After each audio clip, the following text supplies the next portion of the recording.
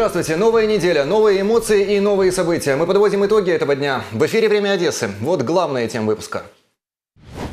Новый коррупционный скандал. Крыжановский сельсовет подозревают в присвоении почти трех миллионов гривен бюджетних средств. Повідомлено про підозру саме за фактом розтрати бюджетних коштів Новое оборудование для кабинета экстренной помощи и ремонт в палате дневного стационара. На Добровольского привели в порядок Центр первичной медико-санитарной помощи. На следующий год мы будем планировать ремонт полностью этого здания.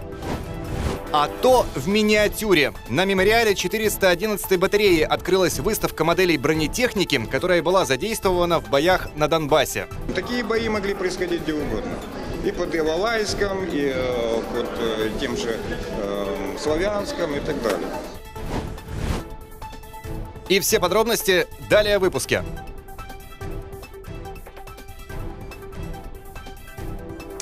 Итак, в Одессе заработали 16 котельных. Тепло уже начало поступать в детские сады, школы и больницы. В течение недели отопление начнут включать и в жилых домах.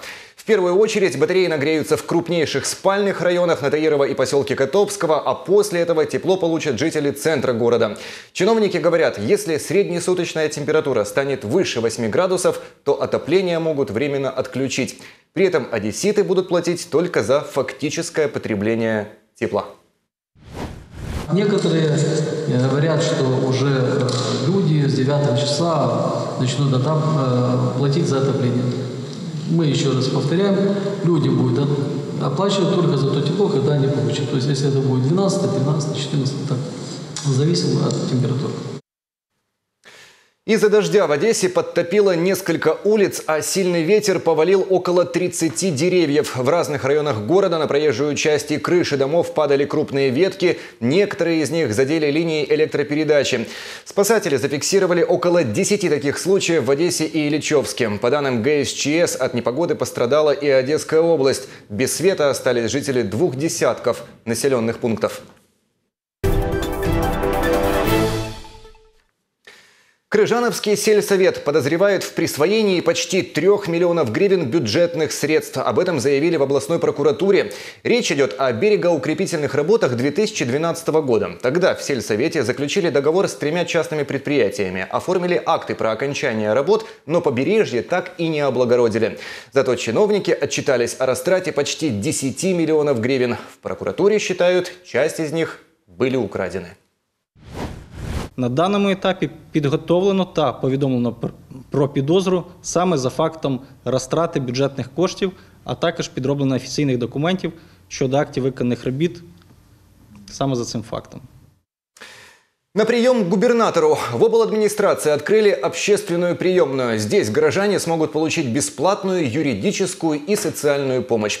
Принимать одесситов будут волонтеры и сам глава обладминистрации Михаил Саакашвили. Он тоже присутствовал на торжественном открытии и провел свой первый за 4 месяца прием граждан. Добавлю, с момента назначения Саакашвили на встречу с губернатором записалось уже более двух тысяч человек. Люди, которые придут сюда, им вопросы решать. Не просто им, их, им будут улыбаться и их успокаивать. Это не место, точка психотерапии, это место решения вопросов. Э, крапка решень. Э, или вікно возможностей, что-нибудь такое. Одесса готовится к выборам. Областной и городской избирком определились с количеством бюллетеней для избирателей. Для жителей региона напечатают 1 миллион 800 тысяч экземпляров и еще более 715 тысяч для жителей Одессы. К работе готовят и избирательные участки. Проверяют работу санузлов, наличие пандусов, телефонов и генераторов на случай отключения электроэнергии. Тем одесситам, которые живут далеко от мест голосования, организуют дополнительный транспорт, а за ходом выборов будут следить почти полторы тысячи сотрудников милиции. Все должно быть обеспечено. Мы должны обеспечить э, прозрачные э, выборы. Мы должны обеспечить доступ к избирательным участкам. Поэтому еще раз пересмотрите также э, подходы, подходы к избирательным участкам, чтобы все могли добраться до избирательных участков. На улице Добровольского привели в порядок Центр первичной медико-санитарной помощи. Пока отремонтировали палату дневного стационара и кабинет для оказания экстренной помощи. Сюда закупили новую мебель и необходимую технику. В ближайшее время чиновники планируют закончить ремонт всего помещения и открыть еще два таких центра на поселке Котовского. Александра Мироненко. Дальше. Светлые стены, новые окна, мебель и современное оборудование. В дневном стационаре ремонта не было около 20 лет, но это лишь небольшая часть запланированных работ. Приводить в порядок необходимо все здание. Возможно, на следующий год мы будем планировать ремонт полностью этого здания. И по плану развития первичной системы здравоохранения у нас здесь будет тоже амбулатория общей практики, которая будет обслуживать население, близлежащих, э, жителей близлежащих домов здесь. В день центр принимает около 30 человек. Чаще всего обращаются пенсионеры. Здесь работают специалисты нескольких профилей. В денному стаціонарі проходять лікування хворі е, різних профілів: неврологічного, хірургічного, ендокринологічного, кардіологічного. Е, направляються сюди хворі е, лікарями загальної практики сімейної медицини. Обновили и манипуляционный кабинет, где оказывают экстренную помощь пациентам. Раньше здесь не было даже шкафа для обеззараживания и холодильника для хранения медикаментов. Наприклад, заходить хворий, так і йому стає погано. Вона його вкладає на кушетку, визиває мене, і на той час вона вже може тут з цього шкафчика щось зробити, щось дати. Всего на ремонт потратили около 140 тысяч гривен. В ближайшее время планируют открыть еще два таких центра на улице Героев Сталинграда и в поселке Шевченко. Александра Мироненко, Олег Шпак, Первый городской. Экипажам торговых судов и авиакомпаний продлили срок американских виз. Об этом сообщил посол США в Украине Джеффри Пайет. Теперь моряки смогут находиться в Соединенных Штатах в течение 10 лет. До этого им выдавалась только пятилетняя виза. Посол отметил, изменения существенно облегчат жизнь морякам и членам экипажей, а также станут новым этапом во взаимоотношениях между странами. Отмечу, сейчас в Украине имеют американские визы около 55 тысяч моряков. Это самый большой срок действия виз, который выдается членам морских экипажей по всему миру. Это символ нашей отдачи к укреплению двусторонних отношений. Главная книга о войне, которой не должно было быть. В Одессе представили роман Сергея Лойка о защитниках Донецкого аэропорта. Роман рассказывает о последних пяти днях киборгов на страже бастиона. В презентации приняли участие сами бойцы, рассказывали военные истории и пели песни. С книгой, которая может стать главным украинским бестселлером этой осени, знакомился Игорь Филиппов. Сергей – один из киборгов. На фотографиях запечатлен моменты обстрела. За время службы выживать под ними приходилось почти каждый день. Выход книги про подвиг украинских бойцов встречает с радостью. Это будет планка, которую должен держать солдат. Знаете, что героем можешь и не быть, а человеком быть обязан. Много это на полигоне может не получить. Во-первых, надо опыт откуда-то брать. Вот. Украина брала опыт, украинские военные, добровольцы. Все набирались опыта вот, на Донбассе. Книгу про оборону Донецкого аэропорта представляют автор Сергей Лойко и известный актер Алексей Горбунов. Под гитарный аккомпанемент писателя артист считает отрывок о том, как попадает в плен комбат-медведь. Персонажи книги вымышлены, но характеры списаны с реальных героев. Все в аэропорту знали Сергеевича как доктора Айболита. Именно так к нему и обращались. Здесь он был настоящим старожилом. 5-6 бессменных ротаций, не меньше. Сергеевич был местным богом. Киборги ему поклонялись. Среди зрителей в первом ряду сидят главные участники событий – бойцы, защищавшие аэропорт. Отрывки романа мужчины слушают, заново переживая моменты войны. Один из киборгов берет в руки гитару. Песня не авторская, но подходит как нельзя кстати. Они нас просто смели и втоптали нас в грязь все наши стяги и вымпелы вбиты в песок. Они разрушили все, они убили всех нас. Автор книги Сергей Лойко – российский журналист, корреспондент газеты «Лос-Анджелес Таймс». Он единственный иностранный репортер, который побывал в Донецком аэропорту. Войну на Донбассе считает прямой агрессией России против Украины. Но судить о дальнейшем развитии отношений государств не берется. Есть крайние персонажи в России, которые требуют резни, полного забвения, полного бойкота, москали, кацапы, здесь хохлы. Но это именно то, чего Путин добивается. Ему не удалось превратить вот эту гражданскую войну в космос. Одесса стала последним городом Украины, в котором представили аэропорт. Один из экземпляров книги даже удалось передать в плен бойцу. Теперь автор надеется издать роман в России. Игорь Филиппов, Александр Пережилин, Первый городской. А то в миниатюре. В музее героической обороны Одессы на мемориале 411 батареи открылась выставка боевой техники украинской армии, которая была задействована в боях на Донбассе. Представленные модели в десятки раз меньше оригиналов, но все детали и даже поле боя выполнены максимально реалистично. С экспозицией ознакомился Дмитрий Долматов. Танки, гаубицы, бронемашины – все это уместилось на небольшом стенде. Экспонаты выполнены в масштабе 1 к 35.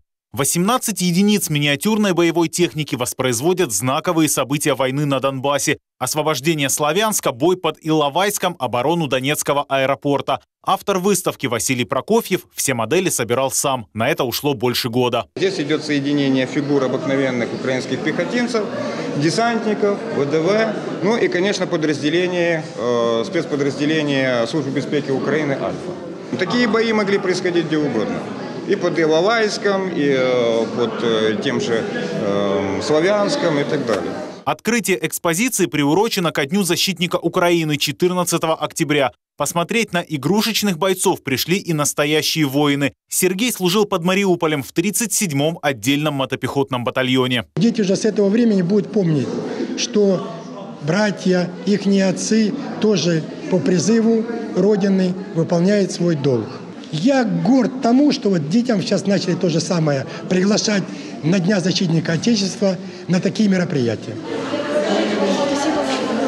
Спасибо и вам, девочки, все. Выставка в первую очередь рассчитана на молодежь. Школьники с интересом разглядывают модели боевой техники и по очереди примеряют безразмерный шлем. Нормально, удобная, не тяжелая. Носить можно на войне.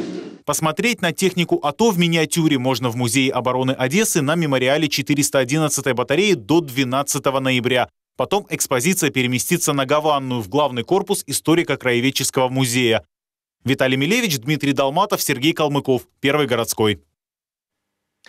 На высоте и со скоростью 120 км в час в Одессе прошли соревнования по горному планеризму. В небо над Куяльником взмыли десятки красочных радиоуправляемых моделей. Все участники из разных уголков Украины.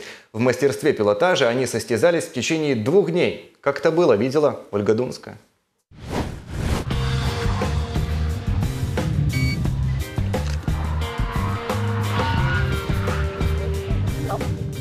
Сигнал ловит, ветер подходящий. Тестовый запуск горного планера прошел успешно. Перед началом соревнований все участники тщательно проверяют свои аппараты. Некоторые собирают их сами, но чаще всего покупают, хотя устройство не из дешевых. Самый простой на радиоуправлении стоит около 500 долларов. Погнали.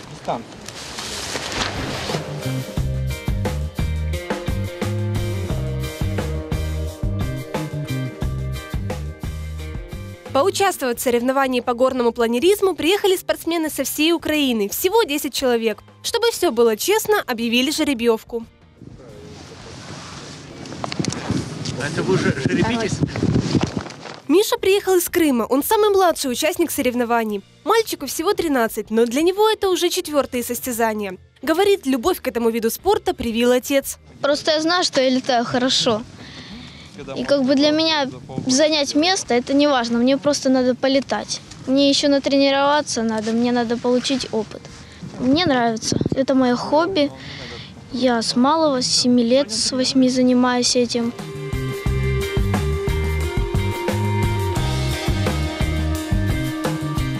Перед началом состязаний – построение. Проводят краткий инструктаж и рассказывают технику безопасности. Соревнования индивидуальные, проходят в четыре этапа. В каждом туре участник должен преодолеть расстояние в один километр. Потом суммарный зачет. Кто быстрее, тот и победил. Рассекая небо над Куяльником, планеры развивают скорость до 120 км в час. Чтобы преодолеть необходимую дистанцию, хватает нескольких секунд.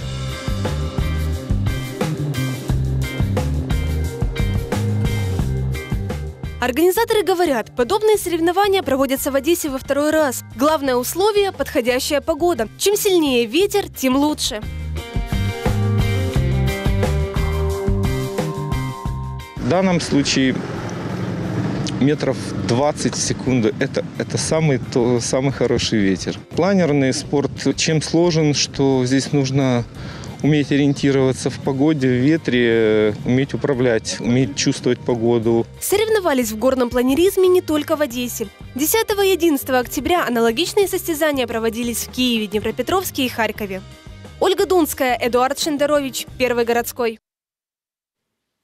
Таким оказался понедельник. 16 лет назад в этот день появился 6-миллиардный житель Земли. Побьет рекорды и эта ночь. Мы в это верим. Любите друг друга и до свидания.